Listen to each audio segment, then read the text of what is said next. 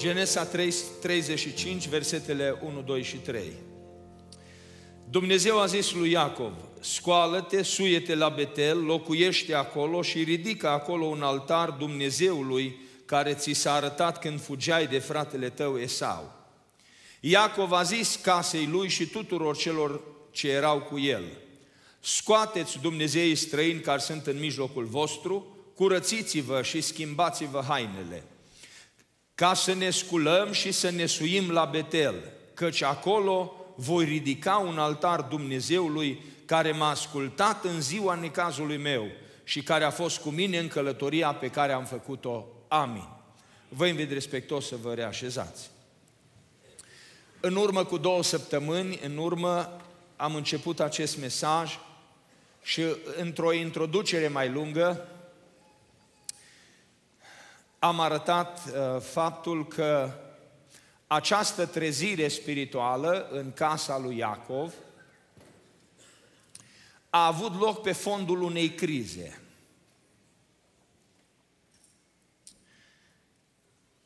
Dina, fata lui Iacov, născută din Leia, a ieșit în oraș la plimbare într-un mod necorespunzător și într-un loc unde nu trebuia să fie. De acolo a fost acostată, luată forțat de slujitorii prințului și a fost violată. Oamenii din cetate au încercat să facă pace, pentru că prințul o iubea pe fată, dorințele și încercările de pace au eșuat, Levi și Simeon, frații lui Dina, s-au înarmat în ziua în care toți bărbații din cetate erau în suferință, s-au năpustit asupra cetății și au omorât toți bărbații. Au luat femeile și copiii, au luat vitele, tot ce era în cetate, au jefuit-o. Iacov și-a dat seama că nu scapă de aici ușor. Oamenii din cetatea aceasta au neamuri, au rudenii, au prieteni prin alte părți, în alte cetăți. Alte cetăți o să audă, alți împărați o să audă, o să se unească și o să vină și îi șterge de pe fața pământului. Era un moment de criză pentru Iacov. În momentul acela Dumnezeu îi vorbește ca să-l scape și îl mută de acolo și îi dă porunca pe care am citit-o. Iacov era conștient că înainte de a merge și de a zidi un altar, înainte de a se sui și a se închina Domnului, trebuie să-și pună familia în rânduială. Trebuie să facă ordine în casa lui. Și-a dat seama că familia lui a deviat de la calea închinării Dumnezeului cel adevărat. Și cum arătam în urmă cu două săptămâni, primul lucru pe care l-a făcut Iacov a devenit un părinte și un lider responsabil. Și a dat seama că el e vinovat și că din cauza lui a ajuns acolo și a luat inițiativă. Am arătat de asemenea aviz mamelor, taților și fetelor ce scumpă era pe vremea aceea fecioria unei fete.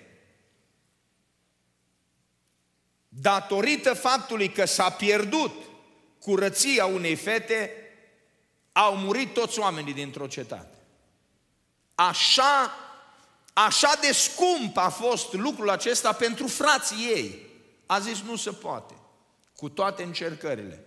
Nu le dăm lor dreptate, nu știu cât de bine au făcut ei, că s-au răzbunat în felul acesta, mi se pare că au înșelat pe oamenii din cetate, n-au fost chiar cinstiți, după cum citesc eu. Dar ă, nu acesta este subiectul și lăsăm în mâna lui Dumnezeu ca să judece. Doar noi vedem ce s-a întâmplat. Cât de scumpă a fost pentru o familie fecioria și curăția unei fete. Și cât de ușor să vând, nu pe bani, să vând fetele în zilele noastre. Cât de ușor și cât de superficial privesc curăția lor și fecioria lor. Cât de mult a decăzut din punct de vedere moral lumea. În seara aceasta doresc în primul rând să vedem ce a făcut Iacov după ce s-a simțit responsabil, după ce și-a dat seama că el e vinovat. Și a stat de vorbă cu oamenii din casa lui și a spus, trebuie să îndreptăm lucrurile. Ce trebuie să îndreptăm? Primul lucru care îl face un om care se trezește spiritual. Primul lucru. Scoateți afară Dumnezeii străini. Scoateți afară Dumnezeii străini. Versetul 2, partea a doua. Scoateți afară Dumnezeii străini care sunt în mijlocul vostru. Noi vom spune că nu avem Dumnezei străini. Noi nu suntem hinduși. Știți că hindușii se închină la orice. Nu știe nimeni cât, câți idoli au hindușii. Îți de ordinul zecilor de milioane sau sutelor de milioane. Că ei își fac idol din părinților care au murit, din bunicilor, din strămoșilor, își fac idol din orice, din copacul din grădină, vaca pe care o îmbracă frumos și alte lucruri. Din orice obiecte ei își pot face idoli. Aproape oriunde te, uiți, uh, te, te duci și în clădirile lor, în blocuri frumoase, amenajate, când intri într-un bloc, acum mi-aduc aminte, am intrat uh, într-o clădire destul de frumoasă ca să stăm de vorbă cu un uh, real estate agent în India. Și la intrare, în casa scării, era o cameră micuță, cameră pentru idol și erau acolo câțiva idoli. În bloc, oamenii să aibă locul unde să se închine, să meargă, să ardă tămâie, să aprindă o lumânare, să facă mătănii, whatever, să se închine. Noi vom spune, nu avem idoli de genul acesta. Dacă aș întreba în adunare cine are un idol la care se închină acasă, nici o mână nu s-a ridicat. Noi suntem creștini. Noi slujim Domnului Hristos și unii care au anumite tablouri sau imagini pe pereți nu se închină lor, sunt doar simbolice. Deci noi nu avem idol de genul acesta. Ce idol să scoatem? Unde sunt idolii noștri? Care sunt idolii noștri? Sau Dumnezeii noștri? Și enumerăm câțiva. Primul care s-ar putea să fie pentru pocăiții români pentecostali e îmbuibarea. Alcoolul e pentru cei care nu-L cunosc pe Dumnezeu sau pentru pocăiții firești sau pentru cei care nu s-au pocăit numai de jumătate. Pentru cei care n-au tăiat copacul din rădăcină, cum ne arăta fratele Cris. Uh, că e ușor să tai copacul, dar e greu să-i scoți rădăcina. Și dacă nu ai scos rădăcina, n-ai făcut nimic. Așa e și unii care s-au pocăit. S-au pocăit, dar numai de anumite lucruri. Sau au tăiat numai copacul, dar au lăsat rădăcinile în pământ și de acolo mai iasă câte ceva și te miri ce vezi și ce mai auzi printre unii credincioși. Citim cuvântul Domnului din Filipen 3 cu 19, prima dată, Filipen 3 cu 19, citim cuvântul Domnului și apoi mai citim încă un cuvânt. Sfârșitul lor despre oamenii din lume, fără Dumnezeu, va fi pierzarea, spune Apostolul Pavel. De ce? Dumnezeul lor este pântecele. Mă opresc aici. Dumnezeul lor este pântecele. Și-au făcut Dumnezeu din pântece. Și noi mai putem folosi expresia asta, dar cu alte cuvinte. Frate, eu de băut nu beau alcool, droguri nu consum, uh, de fumat nu fumez, la femei nu mă duc, mă, măcar să mănânc bine. Nu? De câte ori n-ai zis lucrul ăsta? Măcar să mănânc bine. Alte, alte rele nu fac. Da, rău ăsta e bun? E nevoie să mâncăm, fraților, nu mă înțelegeți greșit, e nevoie să mâncăm. Dar cred că mulți mâncăm prea mult. Mulți mâncăm prea mult. Și uneori nici doctorul nu ne poate opri. Nici doctorul nu ne poate opri. Doctorul vine și spune, omule bun, ce mănânci? Că nu mănânci bine. Păi, știu eu ce mănânc, după tradiție, după obicei. Nu-i bine, omule. Ți se înfundă arterele, ți se blochează inima, ți se strică rinichii. Nu mai mânca din astea și din astea. Îmi schimb doctorul, vezi de treabă că doctorii ăștia, mă duc la altul, I need a second opinion, am nevoie de a doua opinie. Că eu alte rele nu fac. Acum, ok, m-am tăiat de la băutură, m-am tăiat de la tutun, de la alcool uh, și de la mâncare. Păi de ce trăiesc? De ce trăiesc? Noi trăim ca să mâncăm sau mâncăm ca să trăim? Noi mâncăm ca să trăim. Mâncarea e pentru pântece și pântecele este pentru mâncare. Și prin pântece e întreținută viața. Dar există un punct care ne trece dincolo la îmbuibare. Când mâncăm ce nu trebuie și mâncăm prea mult. Unii sunt obsedați și trec în cealaltă extremă după ce au mâncat și am auzit că printre fete s-ar putea să mai fie, care au impresia săracele că grase, au impresia că cele care fac lucrul ăsta sunt tocmai alea slabe, săracele că le suflă vântul. După ce au mâncat bine, bagă degetele pe gât și vomită. Aruncă mâncarea din ele. Ca să nu se îngrașe. Mănâncă pentru că au nevoie de mâncare și să simt bine că gustă fain și după aia scoate mâncarea afară. Și ăsta e un păcat. Ăsta e moștenit de pe vremea romanilor și a nobililor, oamenilor care uh, aveau atâta mâncare că nu puteau să se îndoape cu toată mâncarea pe care o aveau. Și după ce mâncau până simțeau că explodează stomacul, mergeau la baie, băgau degetele pe gât, scoteau toată mâncarea afară și mergeau din nou la petrecere. Și continua petrecerea. Și continua până dimineața și dimineața mergeau și mai făceau o tură. Și așa mai departe îmbuibare.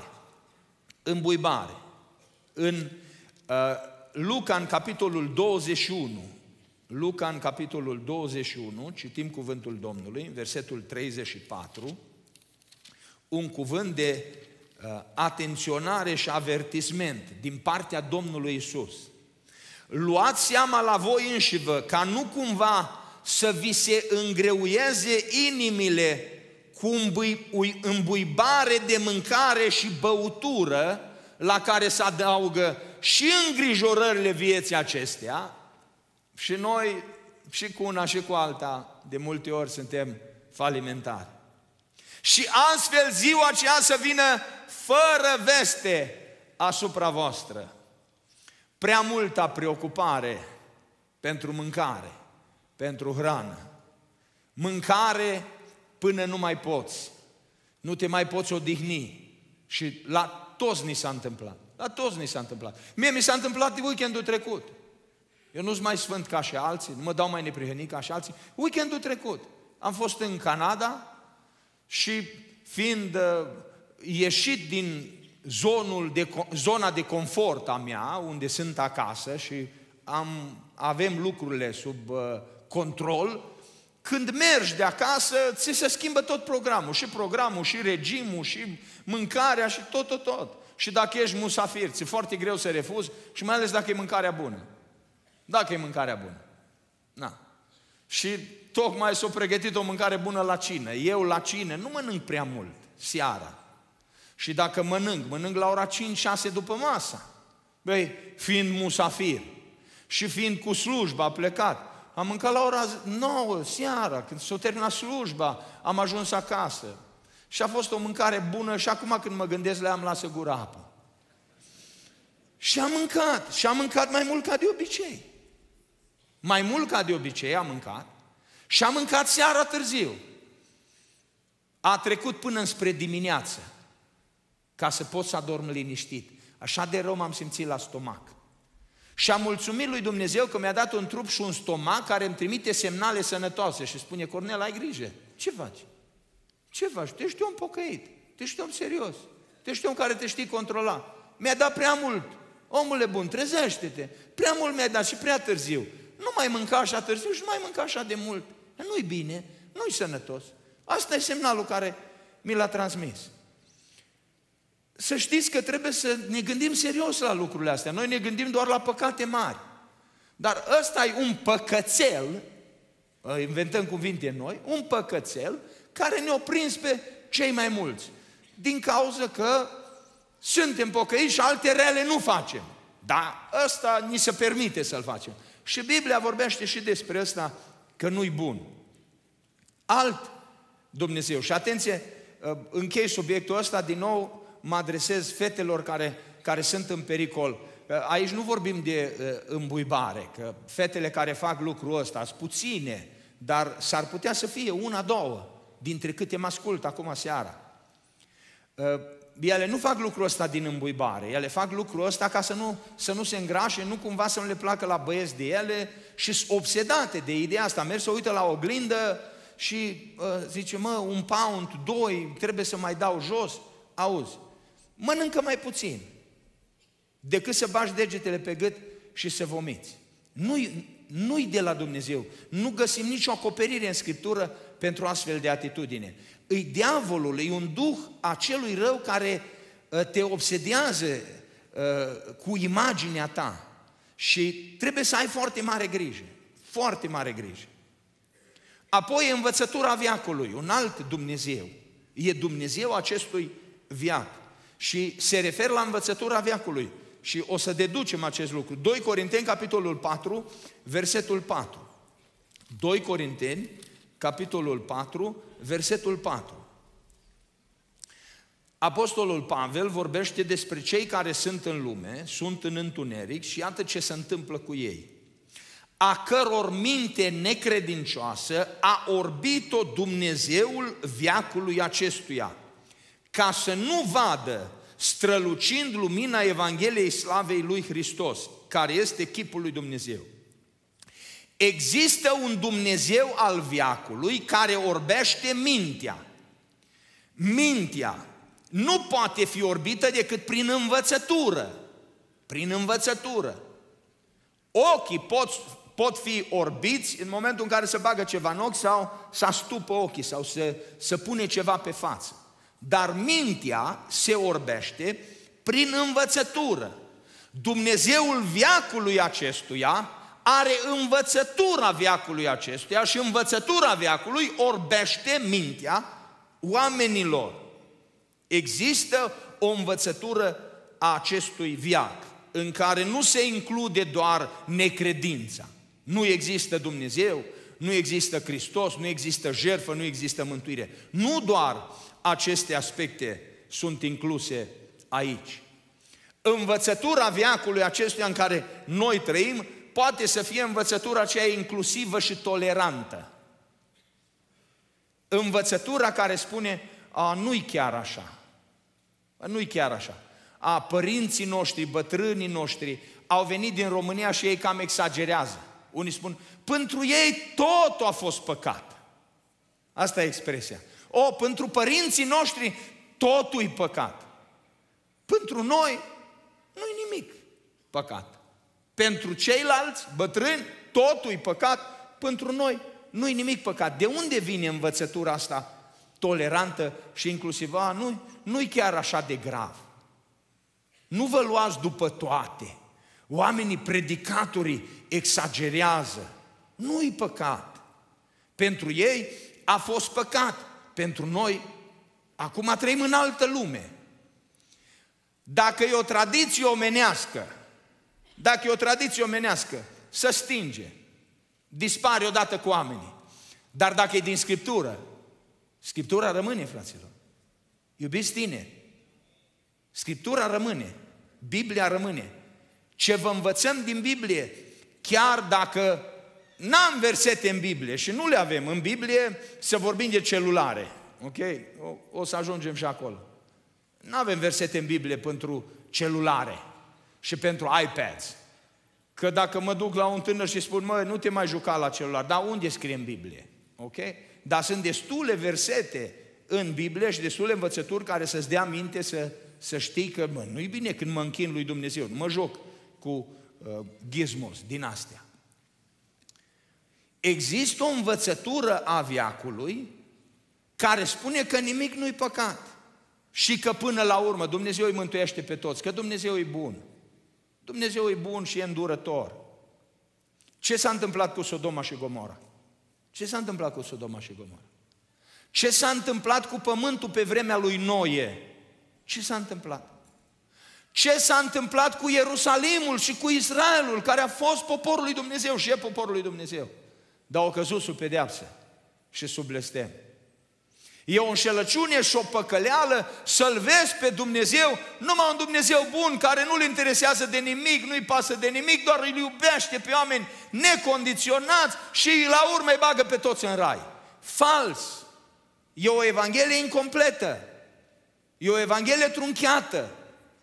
Da, Dumnezeu e bun, e îndurător, e iertător și El a pregătit soluția de mântuire și salvare și slăvit să fie Domnul că prin jertfa Domnului Isus Hristos avem acces la împărăția Lui.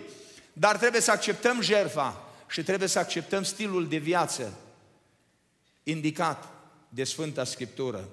Învățătura acestui viac să ajunge până la punctul la care vorbea fratele Ștefan dimineață.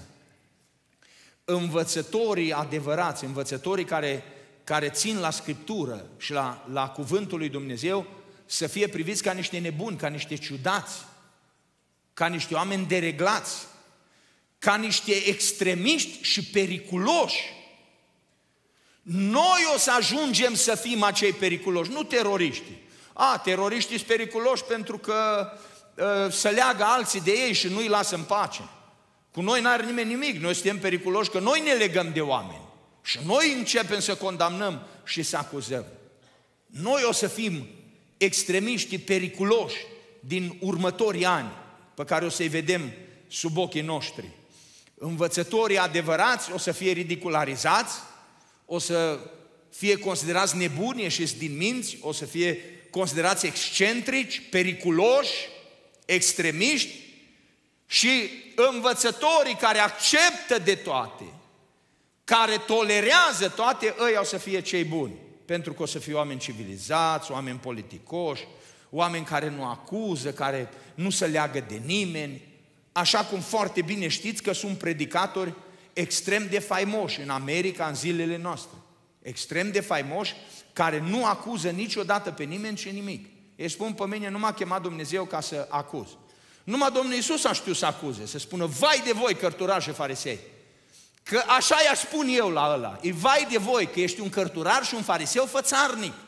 Că nu ai toată Biblia. Iai numai ce-ți place ție. Și duci pe oameni în iad, îi duci pe oameni la pierzare. Și nu știu cum o să stai înaintea judecății lui Dumnezeu în ziua aceea. Când Dumnezeu îți va arăta Biblia și îți va spune de ce ai selectat din Scriptură. De ce ai luat numai pasaje care să gâdile firea pământească a oamenilor și să le spună doar la oameni despre lucrurile bune, să fii pozitiv întotdeauna, doar să îi îmbărbătezi pe oameni. Frați și surori, cea mai mare îmbărbătare pentru omul păcătos îi să afle, să știe că e păcătos, să se întoarcă de la păcatele lui, să vină la crucea Domnului Hristos și să plece mântuit din casa lui Dumnezeu. E cea mai mare binecuvântare și mângâiere. Păi un om păcătos n-ar nevoie să fie mângâiat și liniștit, fii liniștit, omule, du-te în pace, că va fi bine. Nu, nu va fi bine. Omul care trăiește în păcat trebuie să întoarcă la Dumnezeu. E vai de cel care trăiește în păcat, că singur își semnează sentința. Fiecare om păcătos să vină la Hristos și la mântuire. Pentru copii sau tineri care vedem că merg înspre pierzare, au pornit pe o cale greșită. Ai, nu putem să tăcem, nu putem să nu vă spunem zi și noapte. Copile, nu-i bine, nu mai fă lucrul ăsta, nu te mai du acolo, nu mai vorbi cu cutare, nu mai intra în legătură cu oamenii respectivi. În continuu trebuie să facem tot ce depinde de noi ca să scoatem tot ce este rău afară, Doamne ajută-ne! Tot ce este rău trebuie scos afară. Lepădată învățătura inclusivă și tolerantă. Nu știu ce trebuie înlăturat din viața ta sau din viața casei și a familiei tale. Poate că ai început și te-ai oprit la jumătate drumul. Pentru unii trebuie eliminat televizorul. Pentru unii trebuie eliminat televizorul.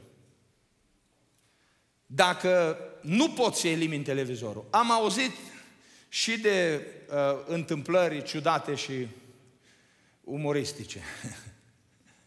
Că s-a ținut odată o predică sau a fost o prorocie, fratele a fost mișcat, de domn a mers acasă, a luat televizorul și l-a aruncat de la etaj jos și s-a spart la gunoi cu el. Și peste două săptămâni și-a dat seama că prea s-a pripit, că de fapt el mai din când în când se uită la știri sau știu eu, uh, se uită la Business Channel sau uh, mai are nevoie să aibă acces în lumea asta. Și mă și l-a cumpărat din nou. Na. Cât de înțelept a fost. Nu așa trebuie lucrat. Trebuie să gândești foarte bine și să vezi. Ai nevoie de el sau n-ai nevoie de el? Judecă foarte bine. Ai nevoie sau n-ai nevoie? Dacă ai nevoie pentru un lucru de folos și ziditor, ține-l, dar taie ce rău. Nu știu ce trebuie să tai, poate trebuie să tai cablu. Taie cablu. Taie cablu. Și atunci o să zici, dar la ce mai păstrezi? Nu știu, să te uiți la video din familie, cum ai filmat când au fost copiii mici. Nu e nicio problemă. Sau un documentar, sau la un program din biserică, sau mai știu eu ce. Dar poate trebuie să tai cablu și să-l păstrezi. Sau să-l lași ca o bucată de mobilă și să agați câte o cravată pe el sau câte o haină, un ciorap la uscat. Găsești o ocupație sau un scop pentru el. Dar dacă scoți afară, scoate-l afară și aruncă la gunoi în momentul în care știi că nu-l mai bași înapoi în casă. Poate că e nevoie să-l scoți afară. Poate că e nevoie numai să-i tai cablu. Ai grijă cu computerul. Cred că cea mai mare greșeală pe care pot să o facă părinții, nu cea mai mare, să nu exagerez de aici de la învon. Una dintre cele mai mari greșeli care le pot face părinții e să le puneți computer și televizor la copii în camera lor. Computer și televizor în camera lor. Și apoi copilul se închide în cameră, își blochează ușa, off limits, își și pune etichetă la intrare. Please do not disturb, nu mă deranjați. Aici ai împărăția mea. Și uneori părinții trebuie să ia măsuri drastice, cum chiar la uh, campul cu, cu familiile uh, am auzit. Un părinte deștept. Băiatul s-a închis înăuntru și bubuiau și să zguduiau pereții și ușa. O muzică acolo că creierul băiatului cred că era fiert, era prăjit. Urechile lui peste câțiva ani trebuie dusă la doctor și făcut operație. Și tata s-a îngrijorat. Bă, copile, măi, mai liniștit, stai cu minte. Nici vorbă. În cele din urmă tata a mers afară la, la breaker și switch off. La tablou electric. La tablou electric și acolo întrerupătorul pentru prize sau pentru curentul din camera lui l-a pus pe off. Copilul, scandal mare! Ce? Dar aici ai camera mea! Bine, și asta e debatable, și asta e negociabil, nu știu dacă e a ta, dar să fie așa. Dar breakerul, circuitul electric e a meu. Și gata. Și gata. Sunt și alte măsuri mai drastice. Și vă dau idei dacă aveți copii care vă creează astfel de probleme. Copii care se închid în cameră. Noi le-am spus și eu le-am spus fetelor noastre când au fost mai mici. Că nu n-a fost nevoie. Am zis, nu vă blocați în cameră. Dacă vă blocați în cameră un minut, două pentru că vă schimbați, dar oricum noi nu intrăm la voi în cameră fără să batem la ușă. Suntem oameni civilizați. Dar să nu vă blocați în cameră și noi să nu putem să intrăm. Că și noi să, habar n-avem ce să știți. În momentul în care voi vă blocați în cameră, eu scot ușa din țețini. nu-s meseriaj, nu-s constructor chiar, dar mă descurc. Așa. Scot ușa din țețeni. Și am pus-o în garaj. Și ai cameră, că legea nu mă obligă să spun ușă la cameră. Și așa trebuie să fii fericit că ți-am dat o cameră pentru tine. Nu trebuie să spun ușă, ți-am luat ușa jos. Și that's it.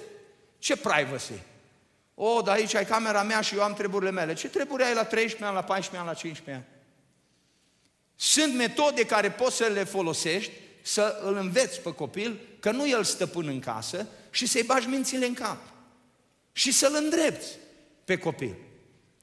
Nu-i lăsa telefonul și iPad-ul noaptea. Nu-i lăsa. Nu îi lăsa. Astea sunt sfaturi practice. Chestiile astea îi distrug, îi nenorocesc pe copii. Seara, înainte ca să meargă la culcare, dacă copilul are celular, bine ar fi să n-aibă, dar dacă are, dacă are iPad, bine ar fi să n-aibă, dar dacă are, uh, unde ți telefonul și unde e iPad-ul? Dă la mama și la tata. Le-ai luat iPad-ul, acum tu du-te la culcare. Și în cameră să n-aibă televizor și să n-aibă computer. Să n-aibă iPad și să n-aibă acces tehnologic. Să meargă la culcare. Și dacă nu poate dormi, să citească o carte. Ai ce fain ar fi. Și dacă citește o carte, să citească o carte sănătoasă, că po- și aici ai altă problemă. Citesc cărți care îi introduc într-o lume falsă și le bagă alte prostii în cap. Și uh, nu știi cum să rezolvi și problema asta. Și cu cărțile e problemă, dar mai bine să citească o carte, dar și cartea aia bine ar fi să fie Biblia sau despre Biblie, sau comentarii, sau o carte creștină ziditoare, ă, decât altceva. Și copilul să se odihnească noapte. Ia-i telefonul dacă nu are nevoie de telefon. Nu-i da telefon, părinte drag. Nu-i da telefon și nu-i da iPad dacă nu are nevoie. Dacă tu îl duci la școală și tu îl aduci de la școală, n-are nevoie de telefon. N-are nevoie de iPad. Nu îi da sursele de otrăvire în mână. Dacă îl vezi pe băiat sau pe fată că a intrat într-o relație, la vârsta de 13 ani, la 14 ani, la 15 ani, să știi că ți-a intrat un Dumnezeu străin în casă. Ți-a intrat un Dumnezeu străin în casă și trebuie să faci tot ce depinde de tine să-l scoți afară. Să-l scoți afară. Puneți mâinile în cap, dacă ești tată sau dacă ești mamă și ai un băiat la 14 ani s-a îndrăgostit de o fată și începe să umble cu o fată la 14 ani. Doamne Iisuse, ai milă de noi. Că nu, nu, nu vorbesc de povești. că sunt lucruri cu care unii dintre dumneavoastră vă confruntați. Puțini, dar să fie și mai puțini. Dacă ai fată de 15 ani și te trezești că e îndrăgostită și nu mai poate fără un băiat și băiatul ăla nu știe a cui și nu știe de unde e, fă tot ce depinde de tine și scoate-l afară. Scoate afară din casă. Tot, fă tot ce depinde de tine. Stai de vorbă cu băiatul ăla. Stai de vorbă cu fata aia. După ce ai stat de vorbă cu copilul tău, stai de vorbă cu celălalt și spune, fata mea nu-i de măritat, fata mea e off limits. Nu vreau să aud. Vezi că am multe arme acasă sau mai știu eu, spune ceva. Sperie el cumva, vezi că te dau la avocat. Vezi că te duc la lege. Vezi că o încurci cu mine. N-ai ce să cauți pe proprietatea mea și n-ai ce să intri în contact cu, cu fata mea sau cu băiatul meu. Nu-i vremea, nu-i timpul de căsătorie. La 13, la 14, la 15 ani știm ce se întâmplă la vârsta asta? Femeile rămân însărcinate, fetele rămân însărcinate și nasc copii pe care le, trăiesc, le cresc bunicii. Asta se întâmplă. Și copiii și fetele se nenorocesc. Și după câțiva ani, când îi vine mintea la cap, la 20 ceva de ani, spune mame și tate, dar de ce m-ai lăsat? Dar eu n-am avut minte, eu n-am avut minte atunci când am fost copil. Ce minte am avut eu la 14-15 ani? Dar dumneata, dumneata ai fost adult. De ce m-ai lăsat? De ce n-ai făcut nimic să mă oprești? Facem tot ce depinde de noi, părinți dragi, să scoatem afară tot ce e rău și tot ce otrăvește casele noastre. Băieți și fete, facem tot ce depinde de noi și de voi și de voi Scoateți afară tot ce otrăvește viața voastră. Orice sursă prin care diavolul vine și intră în viața voastră trebuie scoasă afară, indiferent ce e. Că e tehnologie, că e carte, că e prietenie, că e televizor, că e internet, că e mall, că e shopping, orice sursă prin care diavolul intră și îți otrăvește viața și nu te apropie de Dumnezeu, te desparte de Dumnezeu, te depărtează de Dumnezeu, trebuie eliminat, scos afară. Trezirea spirituală începe de aici. Nu, să nu ne lăsăm păcăliți de diavolul care spunea, nu-i nicio problemă, o, mici, nu-i nicio problemă, lasă că asta e lumea în care trăim. Asta e lumea în care trăim, dar lumea în care trăim să ne norocesc oamenii pe capete. Noi vrem familii binecuvântate, noi vrem copii binecuvântați, care să ne temem de Domnul. Vrem fete care să căsătorească cu băieți cinstiți și serioși, să formeze familii pentru gloria lui Dumnezeu, pentru zidirea Bisericii Domnului Hristos. Iacov când s-a trezit, când și-a venit în fire, a zis, scoatem afară toți Dumnezeii străini. Nu știu ce Dumnezeu străin ai în viața ta, dar trebuie să-l scoți afară. Dacă nu-l scoți afară, nu, nu există pace.